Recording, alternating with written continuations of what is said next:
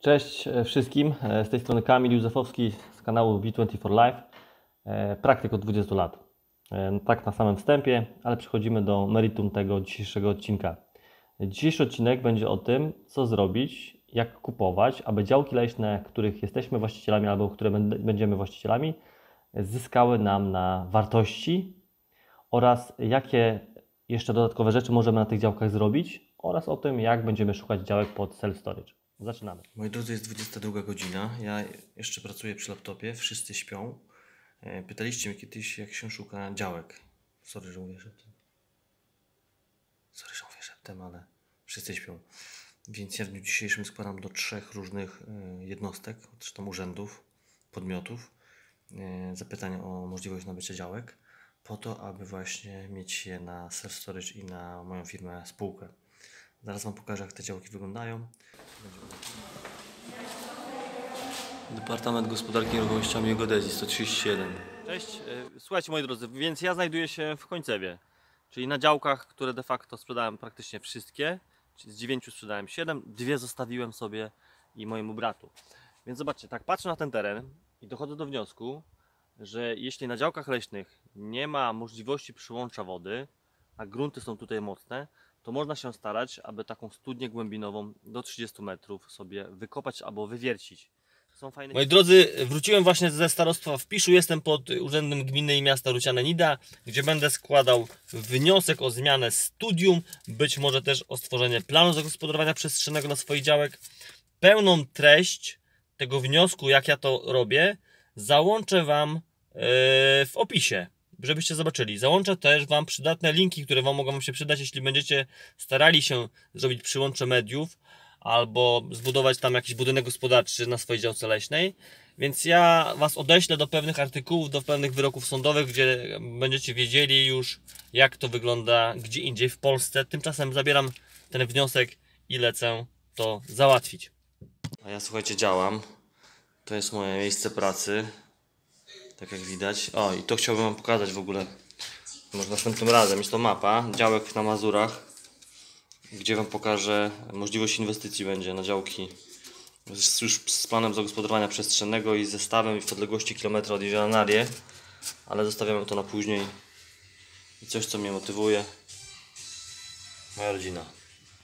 Moi drodzy, chciałem w tym odcinku czytać Wam tak naprawdę z laptopa pewne informacje, ale doszedłem do wniosku, że ja Wam to wszystko powiem, a w opisie do tego odcinka przedstawię Wam, które zapisy ustawy o prawie budowlanym i ustawy o lasach dotyczą nas jako właścicielów lasów, abyśmy mogli coś z tego wyczerpnąć. Dodatkowo załączę Wam odpowiedź Ministerstwa Środowiska na zapytanie chyba jednego z posłów na temat tego, co w jaki sposób można lokalizować jakieś budynki e, mieszkalne albo zagrodowe w lasach, nie będącymi własnością Skarbu Państwa.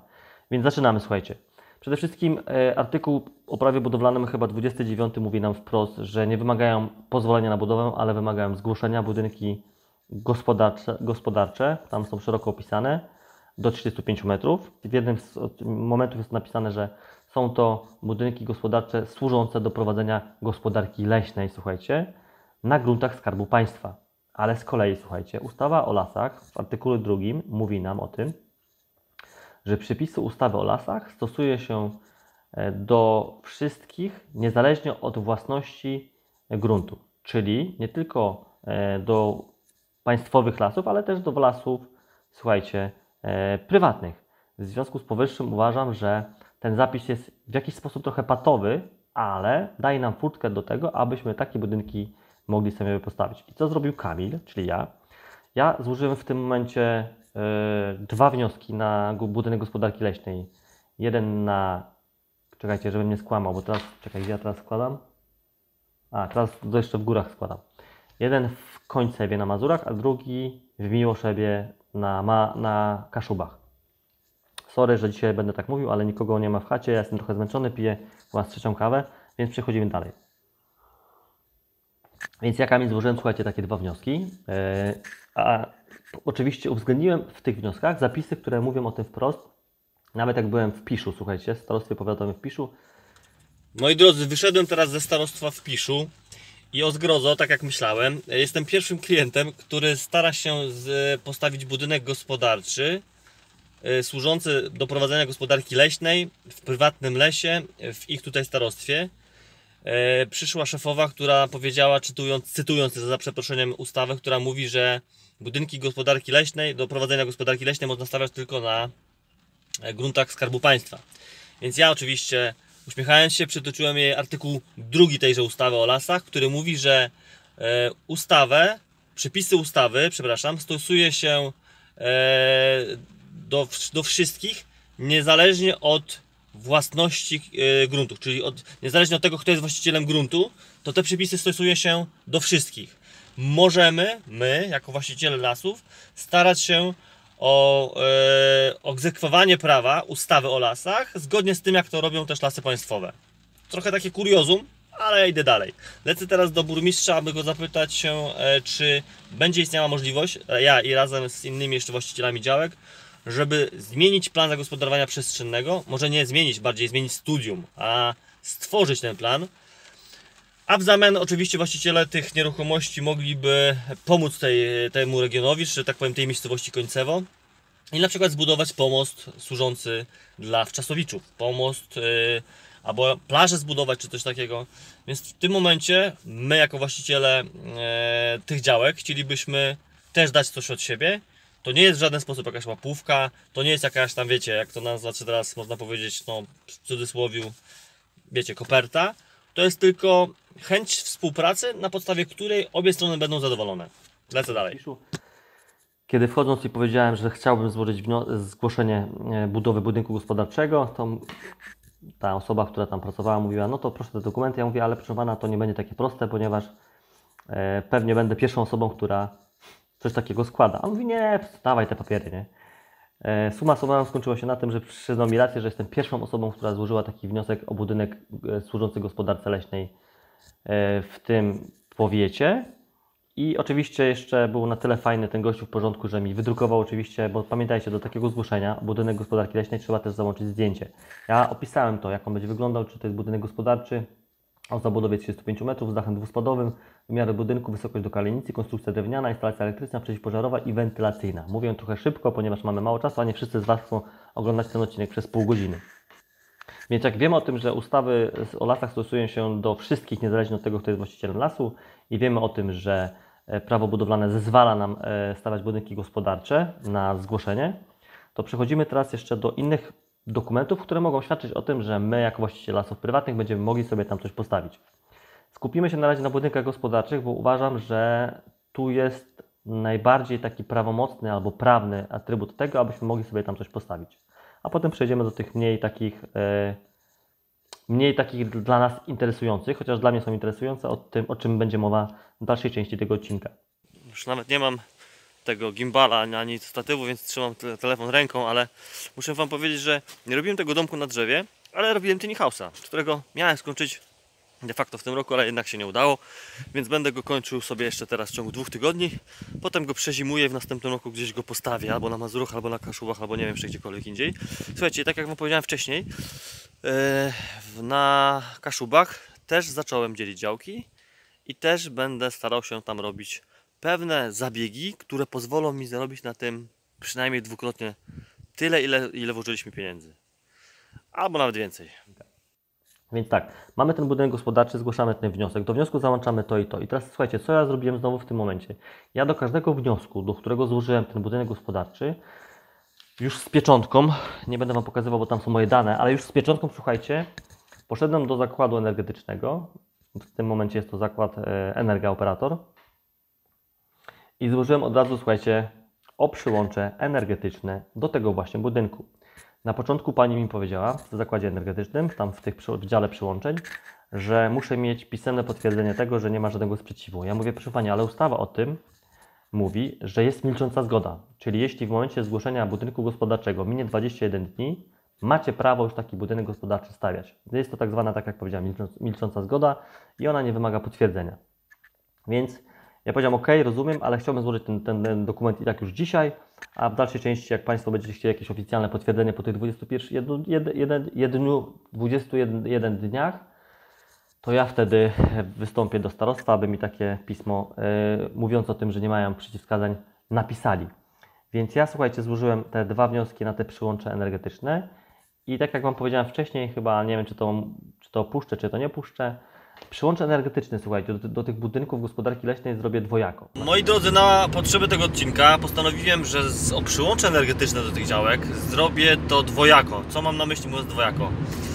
Yy, Raz to złożę, albo już złożyłem tak naprawdę fizycznie w oddziale w Wejherowie, a w dniu dzisiejszym miałem to zrobić też fizycznie, ale postanowiłem, że wyślę to drogą elektroniczną, po to, aby sprawdzić, słuchajcie, która z tych dróg, dróg jest e, lepsza, łatwiejsza albo właściwsza. Więc y, wkrótce zobaczymy, która droga przyłącza energetycznego do działki leśnej, do budynku gospodar- gospodarczego służącego prowadzeniu gospodarki leśnej jest lepsza. Czy online'owa, czy bardziej ta osobista, gdzie masz styczność z, z osobą.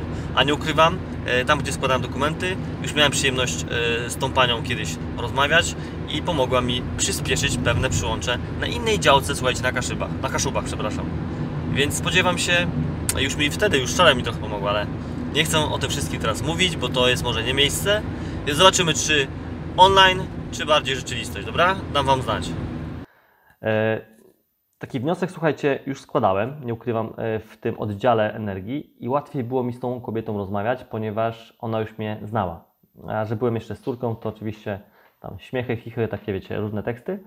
I przyjęła mi ten wniosek i wydaje mi się, że przyłącze energetyczne do działki w Miłoszewie, czyli na Kaszubach, otrzymam. Przyłącze energetyczne. Jeśli dojdzie do tego jeszcze budynek gospodarczy, to na swojej działce w Miłoszewie będę miał i budynek gospodarczy, i przyłącze energetycz- energetyczne. Więc wystarczy tylko podpieczętowane zgłoszenie zamiaru yy, budowy takiego budynku, załączyć jako załącznik do wniosku do zakładu ener- energetycznego. Więc to jest to, co możemy zrobić na tą chwilę. Co jeszcze, słuchajcie, mówią nam przepisy o tych działkach leśnych, że na działkach leśnych, ja Wam to potem wszystko oczywiście załączę w opisie, artykuły, które dotyczą tego, o czym ja teraz mówię. E, Artykuły też mówią o tym, że my możemy jako właściciel lasu sobie ten las ogrodzić i zakazać do niego wstępu. Ogrodzenie powinno mieć wysokość 1,50 m. E, Z tego co pamiętam, ale jeszcze dla własnego bezpieczeństwa to potwierdźcie. Potwierdzicie sobie sami. Więc e, ogrodzenie 1,50 m oczywiście. Nie można e, usy- usytuować, e, słuchajcie, w lasach zbiorników oczyszczalni czy tam zbiorników na szamba, ani innych rzeczy, ale można stawiać w lasach urządzenia służące, że tak powiem, turystycznie. Jest to też jeden z zapisów, też Wam zaraz potem to przy, przypowiem. Więc co też ja wymyśliłem? Ja wymyśliłem, że na działce leśnej w górach, gdzie też jeszcze piszę ten wniosek, żeby nie pokazał swoich danych. Oprócz tego, że złożę ten wniosek o budynek gospodarczy i złożę też o przyłącze energetyczne, to wystąpię też do gminy, czy tam do starostwa, do starostwa raczej chyba, o możliwość zbudowania wieży widokowej albo jakiegoś takiego, wiecie, tarasu widokowego. Po to, że jeśli ja już formalnie przejdę tą procedurę zbudowania tam tarasu, na którym mogą potem może postawić, nie wiem, domek letniskowy na kołach, słuchajcie, to jest fajne, albo glamping, ale jak już przejdę formalnie tą procedurę, to potem taką działkę z taką wieżą widokową albo z tarasem mogę sprzedać za dużo większą cenę, gdyż istnieją już na, na tej działce jakieś zabudowania, które będą służyły temu, tej rekreacji, temu wypoczynkowi tak naprawdę. I więc wtedy ta wartość tej działki znacznie, znacznie wzrośnie. Więc mamy ogrodzenie, e, mamy e, możliwości turystyczne związane, że tak powiem, co można zrobić, czyli te wieże widokowe, ta, ta, tarasy widokowe i tak dalej. I oczywiście budynki gospodarcze i przyłącza energetyczne. To mamy. Jeśli macie jakieś pytania, to w komentarzach do mnie śmiało. E, Fajnie, jeśli Wam się spodoba, jeśli będziecie widzieli wartość w tym odcinku, to łapka w górę, żebym wiedział, że to jest w miarę sensowne. I oczywiście polecajcie osobom zainteresowanym, aby też to mogli obejrzeć. Dzięki temu, słuchajcie, jak dacie łapkę w górę, to inni też to zobaczą. Więc jeszcze się na chwilę zatrzymamy w tych, na, na tych budynkach gospodarczych, bo minister, który odpowiadał na jedynemu z posłów na temat tego, co można stawiać na takich lasach, napisał wprost, że w momencie, kiedy te budynki służą gospodarce leśnej, nie wymagają e, odlesienia albo wyłączenia z produkcji leśnej inaczej, albo zmiany przeznaczenia gruntu. Jest to wprost napisane przez ministerstwa. Jeśli ktoś z Was nie znalazł tego, oczywiście tego dokumentu, to ja Wam to załączę również w opisie, albo linka Wam dam, albo Wam wyślę potem jeszcze, jakbyście, jakbyście chcieli prywatnie. Więc co jeszcze, moi drodzy, oprócz tego ministra środowiska, który powiedział, że jednak nie trzeba odlesiać, żeby postawić tam budynek gospodarczy, służący gospodarce leśnej, to to jeszcze są wyroki sądowe. Postaram się zaraz znaleźć jakiś wyrok sądowy. Słuchajcie, nie znajdę go w tej chwili, ale muszę Wam powiedzieć, że na pewno taki wyrok gdzieś znajdziecie na pewno w internecie. I co ten wyrok, w ogóle o czym ten wyrok sądowy mówi? Oczywiście właściciel dostał e, nakaz rozbiórki e, od nadzoru budowlanego tego budynku, ponieważ stwierdził, że ten budynek nie służy gospodarce leśnej, bo widział tam jakieś huśtawki, bujawki, tego typu rzeczy, tylko służy do rekreacji i, i wypoczynku. Więc ten właściciel tego budynku się odwołał w pierwszej instancji, się mówi, czy tam w, na, na, w, w pierwszym sądzie się odwołał od tego. I to potem poszło do drugiej instancji i chyba nawet później nawet do kolejnej, aż w końcu ostatecznie sąd zadecydował, że nadzór budowlany, tak w skrócie, nie ma pewności do tego i nie może stwierdzić jednoznacznie, że ten budynek e, faktycznie służy mu wypoczynkowi, skoro e, trzyma też tam jakieś wykaszarki, pilarki i inne pierdoły. Więc to wszystko uzmysłowiło mi, moi drodzy, że my jako właściciele lasów możemy sobie takie budynki stawiać. Jeśli ktoś z Was otrzyma negatywną odpowiedź, to niech się nie zraża, tylko niech się do tego, od tego odwoła. Nie znajdę chyba czasu dla wszystkich, ale jak ktoś do mnie zadzwoni albo kiedyś przyjdzie, że, że dostał odpowiedź negatywną, będziemy po prostu robić swoje. Mam nadzieję, że czas znajdę. Więc słuchajcie, mamy te budynki gospodarcze na tych fajnych naszych lasach. Co jeszcze możemy zrobić, aby ich wartość wzrosła, moi drodzy? Ja uważam i tak, czy uważam, ja, ja to już to będę robił, słuchajcie. Ja będę robił na pewno coś takiego, że na działce leśnej w, e, w Końcewie oraz w Miłoszewie będę stawiał domki na drzewach.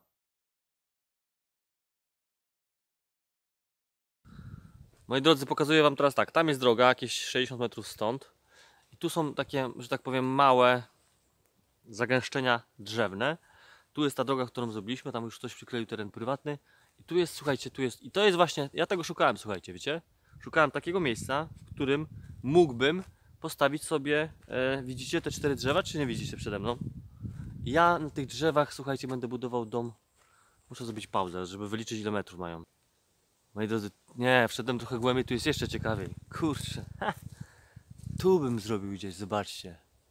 Nie wiem, czy to widać w tym momencie, ale ten teren tu jest taki lekko. No, patrzcie u góry na drzewa.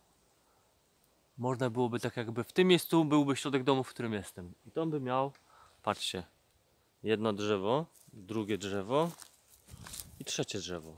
Taka platforma trójkątna, o, widać, widzicie teraz? One przy podstawie są bardziej takie równolegle, równoległe boki mają. Więc ja myślę, że w tym miejscu mógłbym ten domek postawić. Sam kamerę, gdyż tak będzie mnie lepiej widać chyba i słychać. Słuchajcie, wejdę chyba jeszcze głębiej, cholera. Podoba mi się ten, ten odciutuję ten kawałek lasu. Nie, nie ukrywam. To mi się trochę mniej podoba. Zbyt gęsty, muszę go przerzedzić. Dobra, idziemy dalej. A co my tu jeszcze mamy? Słuchajcie, brzozy. To muszą być jakieś mocne drzewa, na których mogę posadowić ten. A, i tu są chyba jeszcze jakieś drzewa. Zaraz zobaczymy. Nie, no słuchajcie, jest przestrzeń, gdzie można zrobić te domki, ten domek na drzewie. Jakby wam to powiedzieć, cholera, żebyście mieli świadomość, jak to wygląda. Może tak, wygląda zajebiście. Tak naprawdę, słuchajcie, yy, przebrałem buty na szczęście na jakieś stare, bo tu jest mokro, widzicie, pogoda taka słaba. Więc w dalszej części tego odcinka będę Wam mówił jeszcze na temat tego, co z tymi działkami leśnymi, co można z nimi zrobić, ile zarabiać, gdzie kupować i tak dalej, i tak dalej, i tak dalej. I oraz te, o te przyłącza, które będziemy wkrótce robić. Dajcie, jeszcze trochę się napa napałam tym, tym widokiem tutaj. Słuchajcie, muszę niestety wyłączyć kamerę, bo muszę się skupić na tym, co mam w głowie, aby to przemyśleć, a do Was wrócę, jak będę wracał już do Elbląga.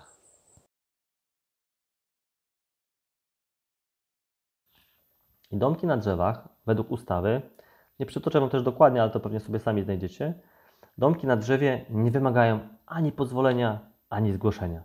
Ktoś by sobie pomyślał, domek na drzewie to dla, dla dzieci pewnie tam z 4 metry kwadratowe. Nie. Znalazłem domki na drzewie, nie tylko w Polsce tak naprawdę, ale też e, głównie na rynkach zagranicznych.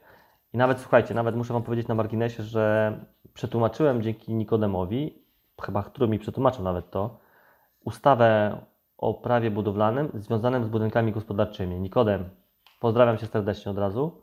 Nikodem w ogóle mi sprzedaje działki. Też fajna sprawa na Niemcy. Mam nadzieję, Nikodem, że coś się sprzeda.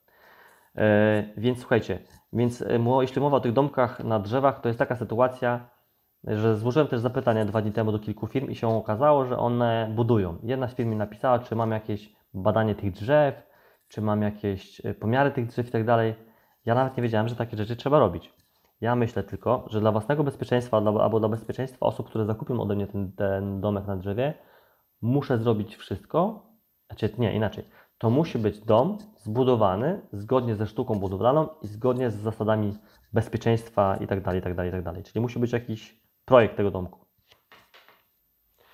Więc ten projekt na pewno, słuchajcie, będzie jakiś, jakiś będę robił tylko fajny. Teraz jaki domek byście Wy zrobili, to nie wiem, ale powiem Wam, jaki ja zrobię domek. To będzie domek o powierzchni mniej więcej 6 na 6 albo 6 na 5, z czego e, 4 metry kwadratowe, czy może 6 metrów kwadratowych, może 8 metrów kwadratowych będzie stanowił taras. Dlaczego taras? Oczywiście widoki na wysokości kilku metrów wśród lasów są o dużo lepsze niż jakbyśmy patrzyli na to z okien, nie? Czyli taras jest otwarty, a okna oczywiście są tylko na określonej wysokości. Więc ja taki domek będę stawiał. Znalazłem wczoraj firmę, która to robi od, za kilkanaście albo kilkadziesiąt tysięcy złotych, w zależności od tego, w jakim standardzie. Czy to będzie domek letniskowy ocieplony, z przełączami, z, med- z mediami, może nie, ale z energetyka, z przewodami. A właśnie, dochodzą jeszcze media, słuchajcie, a do tego zaraz dojdziemy, do tych mediów, które trzeba albo można mieć i w jaki sposób to zrobić. Więc ten domek będzie miał z 30 metrów, z tego 5-6 metrów, 8 metrów taras. Oczywiście osobno będzie łazienka. I teraz przechodzimy do tego tematu związa- związanego z budową tego domku na drzewie, jeśli chodzi o przyłącza. Przyłącza mediów o tyle są trudne, że w momencie, kiedy przyłączymy sobie media, słuchajcie, do budynku na drzewie, nadzór budowlany w 99% stwierdzi, że to jest budynek, że tak powiem, już jako pełnoprawny obiekt mieszkalny, co nie do końca e, mi się to podoba, bo wtedy będziemy musieli to rozebrać, prawda? A my chcemy tam sobie odpoczywać w wolnym czasie. Więc ja bym takich przyłączy oficjalnych nie robił, ale są też sposoby, aby robić przyłącza, mówiąc wprost, których nie będzie widać. Ale o tym nie będę dzisiaj mówił, bo to może być źle odebrane przez niektórych z Was. Więc co ja będę robił, albo co mógłbym zrobić taki, na takim domku na drzewie? Słuchajcie, mógłbym na pewno zamontować solary, o ile drzewa, czy tam liście, czy tam w ogóle gałęzie, nie zasłaniają nam światła słonecz- słonecznego. I wtedy ta energia, energia, która będzie kumulowana ze światła słonecznego, pozwoli nam w jakiś sposób zasilić e, prąd, czyli oświetlenie i mam nadzieję też z odpowiednią przetwornicą gniazdka na 230 V, bo wiadomo, że oświetlenie możemy zrobić na 12 V, czy tam 24 V, ale już przy podłączenie pod telefon komórkowy to musimy mieć na 230, słuchajcie. Czyli słuchajcie, jeśli mamy na tym domku e, zlokalizowane panele, ustawione, posadowione panele fotowoltaiczne, które będą nam generowały e, prąd, to dojdzie kolejna kwestia związana z wodą. Jak wiecie, woda jest nam niezbędna do życia. Nie chodzi tylko o jej spożywanie, ale też o higienę, tak naprawdę.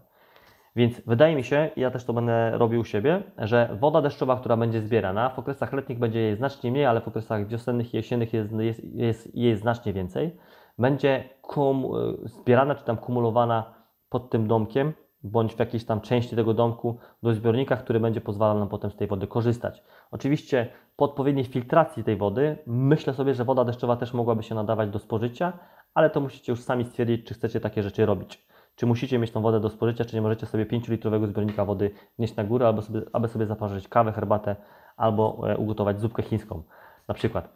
Więc e, jak mamy już ten prąd ze słońca i mamy tą wodę z deszczu naprawdę, to możemy oprócz tego też sobie oczywiście dostarczać do tego domu przecież agregat, prawda? Prądotwórczy, jakiś mały agregat, który pozwoli nam przez jakiś czas, przez okres powiedzmy weekendu albo kilku dni korzystać z tego domku i mieć ten prąd, tą, tą elektryczność, żebyśmy mogli funkcjonować normalnie.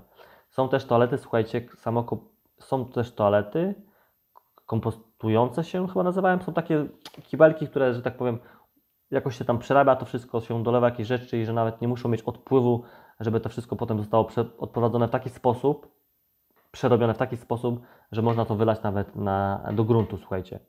Albo też, słuchajcie, oprócz tych kiblów, które są ekologiczne, można zastosować też normalnie zbiornik mobilny, który będzie pod naszym domkiem zlokalizowany. Oczywiście może być w zabudowie, żeby nie estetycznie, żeby to wyglądało. I w przypadku, kiedy ten zbiornik już będzie pełny, zadzwonimy, słuchajcie, do firmy, która świadczy takie usługi asenizacyjne, powiemy, dzień dobry, chcielibyśmy opróżnić nasz zbiornik, który ma metr sześcienny, pół metra sześciennego, czy tam ile trzeba. Więc to też jest dobre, słuchajcie, zawsze jak do nas przyjdzie wtedy jakiś nadzór, albo ktoś do nas przyjdzie na na, szpieg, na szpiegi, to mówimy, że tu nie jest ten, ten szambo czy ta oczyszczalnia schowana w ziemi, że to jest mobilne, że w każdej chwili możemy ją przestawić, wywieźć, schować albo, nie wiem, pozbyć się jej. Więc to mamy, moi drodzy, jeszcze, ale też zalecałbym, też Wam opowiem o tym, aby w jakiś sposób ten domek na drzewie zabezpieczyć. Zabezpieczyć pod takim kątem włamania, żeby potem nie było, że ktoś się nam włamał i zrobił nam jakieś szkody, czyli są jakieś systemy alarmowe, które pozwalają nam mieć zasilanie przez okres kilku, myślę, tygodni, tak, z akumulatora, ale w momencie, kiedy jeszcze będziemy mieli te zewnętrzne zasilanie ze słońca, myślę, że ta, te bezpieczeństwo i ten alarm, który tam będzie, będzie też możliwy, słuchajcie. A w momencie, jeśli jak dostaniemy jeszcze przyłącze energetyczne, słuchajcie, do naszych działek leśnych, czyli do tego budynku gospodarczego, to wyobraźcie sobie wtedy, jakie moglibyśmy mieć z tego tytułu korzyści. Zatrzymuję się na chwilę. Więc moi drodzy, jak przeszli- przeszliśmy już od budynków gospodarczych do tych domków na drzewie, to teraz jeszcze skupimy się na tych tiny house'ach albo na glampingu, dobra? Jak, jak pozwolicie. Kubek po kawie, ale trudno, pić mi się chce, nie chce mi się wstawać. Więc moi drodzy, ja kończę, jak wiecie, budowę tiny house'a. Myślę sobie, że go zostawię, chociaż chciałem go sprzedać szybko z jedną z moich działek leśnych po to, aby zainwestować te pieniądze w kolejną inną działkę. Nie wiem, co zrobię dokładnie, ale o tym Wam na pewno powiem w następnym odcinku. Więc te tiny house'y i tak jak wcześniej, tak jak Wam powiedziałem, Piotrek z Trójmiasta, z Gdyni dokładnie, który do mnie zadzwonił, który też, jest, e, też się zajmuje pośrednictwem nieruchomości tak naprawdę, powiedział mi, że znalazł firmę, słuchajcie, która, słuchajcie, z przyczep, naczep, przepraszam, tirów robi domki. I to też jest zajebisty pomysł. Dlaczego?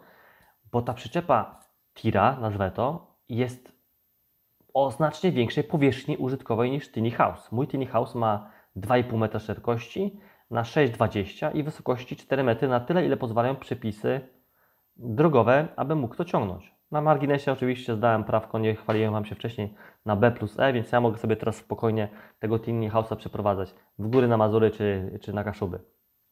Więc ten pomysł z tą naczepą też jest dosyć fajny, bardzo on mi się podoba.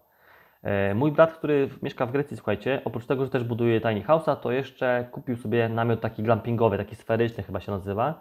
Też pewnie o tym słyszeliście, a jeśli nie słyszeliście, to zalecam Wam, abyście się z tym tematem poznali, gdyż też jest bardzo ciekawy. Dlaczego?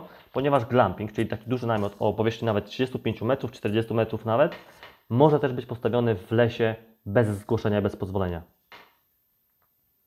I w takim oto e, glampingu namiocie też możecie mieć e, oddzielnie kuchnię, część jadalną, sypialną, czy powiedzmy sobie jeszcze wypoczynkową. Co jest jeszcze ważne, taki glamping trzeba posadowić na wcześniej przygotowanej platformie z drewna, tak? Czyli możemy sobie uzmysłowić, że ta platforma z drewna, na której będzie stał glamping, nie musi być do końca, e, nie może być do końca związana na trwale z gruntem, czyli nie może być na fundamentach, ale może być na bloczkach betonowych, które będą stały na otwardzonym wcześniej gruncie, po prostu, żeby było stabilne i równo. I w takich, słuchajcie, obiektach, takim źródłem naszego zasilania czy tam ciepła mogą być wszelkiego rodzaju kozy, jakieś piecyki, e, co jeszcze, moi drodzy? Oczywiście elektryczne e, albo gazowe, słuchajcie. Ja w przyczepie będę miał zasilanie gazowe ora- oraz elektryczne i zastanawiam się mocno, czy też muszę mieć, albo czy chcę mieć piecyk w takim małym pomieszczeniu, w takim małym domku, gdzie jednak, wiecie, e, musi być odpowiednia wentylacja, aby ten zapach, ta, nie wiem, potem ten czad czy coś takiego nie spowodował jakichś skutków zdrowotno-chorobowych e, u mojej rodziny. Więc mamy ga- zasilanie gazowe, jeśli chodzi o ciepło, e, zwykłe naturalne, czyli drewno i oraz elektryczne, e, wiadomo, e, sieci, słuchajcie. Jak Wam powiedziałem na samym początku, złożyłem te wnioski, słuchajcie, na, na te przyłącza energetyczne i jeszcze nie mam odpowiedzi. I to nie jest to, że ja w tej chwili gwarantuję Wam, że to Wam się uda, bo nie ukrywam, jak się dowiedziałem od Piszu, że jestem pierwszą osobą, aż spodziewałem się takiej osoby, to myślę sobie, że w wielu przypadkach będzie odpowiedź e, negatywna, ale nie ma co się zrażać, tylko trzeba po prostu się do tego odwoływać i robić po prostu swoje, albo szukać innych rozwiązań. Więc ja prawdopodobnie będę sobie to wszystko robił po kolei, zgodnie z tym, co Wam teraz powiedziałem. E, W dalszej części tego odcinka opowiem Wam jeszcze, jak szukałem, słuchajcie, gruntów pod self-storage, ale chyba mam taką, czyli mam taką myśl w tej chwili, że chyba nie wszystko jeszcze powiedziałem odnośnie działek leśnych. Miałem jednak dobre odczucie, słuchajcie, bo nie, powie, nie powiedziałem Wam wszystkiego. E, muszę dopowiedzieć coś, co jest dla niektórych oczywiste, ale dla niektórych nie. Słuchajcie, w momencie, kiedy chcecie zakupić las od osoby prywatnej, bo lasy państwowe Wam lasu raczej nie sprzedadzą, bardziej będą kupować, chcieli kupić od Was. W moim przypadku zdarzyło się tak raz, że lasy państwowe skorzystały z możliwości pierwokupu. Właśnie do tego tematu chciałem teraz dojść, przepraszam. Więc w przypadku, kiedy zakupujecie las od osoby prywatnej, lasy państwowe mają możliwość zakupu pierwokupu i raz mi się zdarzyło tak, bo to była bardzo mała cena, to było chyba 2,50 za metr kwadratowy. Ja Wam pokazywałem ten odcinek, a jak nie, to Wam zaraz go tutaj gdzieś puszczę góry. Zobaczycie, jaki piękny teren znalazłem, ale lasy skorzystały, słuchajcie, z możliwości pierwokupu, więc zostałem w dupie, że tak powiem szczerze. Poniosłem koszty związane z aktem notarialnym, których nie odzyskałem. Ale teraz tak, kupując las, po pierwsze, lasy mają pierwokupu, potem 30 dni na to, aby odpowiedzieć. Jeśli nie, nie, nie odpowiedzą Wam, że chcą skorzystać, macie znowu milczącą zgodę na to, aby znowu się spotkać u notariusza i ten już ten akt notarialny zakupu przeniesienia własności zrobić już na, na siebie. Wiecie o tym, że lasy e, można dzielić na działki tylko 3000 metrów. Ale tu też jest furtka. Też jest furtka, moi drodzy, bo w momencie, kiedy, tak jak w moim przypadku, ja jestem współwłaścicielem kilku lasów, e, jest taki przepis, który pozwala nam w jakiś sposób zrobić z tego mniejsze działki. Już Wam o, czym, e, już wam o tym mówię. Więc jeśli podzielimy sobie na te działki na 3000 metrów, tak? Ty i Twój wspólnik, czy tam małżonka, czy ktokolwiek inny, i w pewnym momencie swojego, nie wiem, życia dojdziecie do wniosku, że chcecie znieść współwłasność takiego lasu, to w tym momencie z mojej wiedzy, którą posiadam, możecie to zrobić dwojako. Albo sądownie, albo na podstawie kodeksu cywilnego. Możecie znieść tą współwła- współwłasność w taki sposób, że ta działka 3000 metrów zostanie podzielona na pół. Na Kamila Józefowskiego i jeszcze pana X. Ja w tym momencie mam już tylko swoje działki, które nie mają 3000 metrów, które tylko mają 1500 metrów, prawda? I wówczas takie działki też mogę sprzedać. Czyli nie ma e, tak jakby obowiązku wtedy zakupu albo sprzedaży takich działek po 3000 metrów, tylko możemy przejść przez, przez procedurę, co nie ukrywam, też będę robił wkrótce, słuchajcie. Będę, dlaczego będę o tym robił wkrótce? Dlatego, że chciałbym się przekonać, czy to, co się dowiedziałem i to, co jest zapisane w prawach, jest po prostu prawdziwe, tak? Czy jest to możliwe tak naprawdę, i więc o tym wszystkim też Wam powiem. Więc mamy ten pierwokup. E, mamy, zalecam Wam też, słuchajcie, mm, jak kupujecie las i zobaczycie, że ta wartość zakupu jest mniejsza, to jednak e, dogadajcie się ze sprzedającym w jakiś sposób, aby otrzymał trochę większe, większą kwotę, ale żeby ta kwota na akcje notarialne była większa. Dlaczego? Bo wyszła chyba jakaś, jakaś e, przykaz, przekaz, wyszedł jakiś tam obowiązek, że tak powiem, wykupu lasów od prywatnych właścicieli. I w momencie, kiedy ta działka leśna kosztuje 22 zł za metr, tak jak ja to sprzedaję, to oczywiście lasy z tego nie skorzystają. A jak skorzystają, to nie skorzystają, bo oczywiście szybciej sprzedam. A oczywiście też dogaduję się w taki, w taki sposób ze swoimi e, zainteresowanymi, że w momencie, kiedy lasy skorzystają, to ja im zwrócę koszty podpisania umowy warunkowej, czyli tej pierwszej, bo to też są koszty z rzędu 800 zł chyba za przedwstępną umowę sprzedaży lasu. Więc ja to wziąłem na barki, na siebie, że jak lasy skorzystają, to ja będę te kwoty zawsze zwracał. Ja niestety nie miałem takiej możliwości, jak e, dostałem, e, tak powiem, po plecach i nie kupiłem tej działki leśnej. I teraz tak, e, słuchajcie, teraz bardzo ciężko jest znaleźć las w ogłoszeniach, bo coraz więcej osób się tym interesuje, nie ukrywam. Ja przestałem jakiś czas temu już szukać tych lasów, ponieważ muszę się obrobić ze swoimi lasami. Tak jak powiedziałem, mam ich kilka i je odpowiednio sprzedać za odpowiednią kasę, żebym po prostu mógł potem przejść do innych rzeczy. Więc jak widzicie, e, ja jestem taką osobą, która niekoniecznie trzyma się tylko jednego tematu, ale myślę sobie, że jak masz kilka takich różnych źródeł dochodu z kilku różnych rzeczy, to w jakiś sposób możesz być pewny, że w momencie największego kryzysu na świecie e, ty jednak możesz sobie dać radę. E, Takie mam zdanie w tym temacie. Moi drodzy, chyba tyle na temat tego, tych lasów i tak naprawdę. Jeśli macie jakieś pytania, to dajcie znać. Jeśli Wam się spodobał ten materiał, to dajcie rękę do góry po to, aby ten odcinek mógł być pokazany dalej, bo YouTube oczywiście ma swoje jakieś tam, nie wiem, kody, czy tam, mm, nie wiem jak to naz- nazwać, nieważne. E, Więc jak, jak Wam się podoba, dajcie łapkę do góry i możecie, możecie komuś go polecić, jeśli ktoś ma też działki leśne, albo jeśli ktoś chce kupić działki leśne. Teraz przejdziemy, słuchajcie, do działek związanych z self-storage'em. Self storage to są magazyny samoobsługowe, które się prowadzi na działkach. Niekoniecznie na działkach budowlanych, w mojej ocenie mogą to też być działki wszelkiego innego przeznaczenia.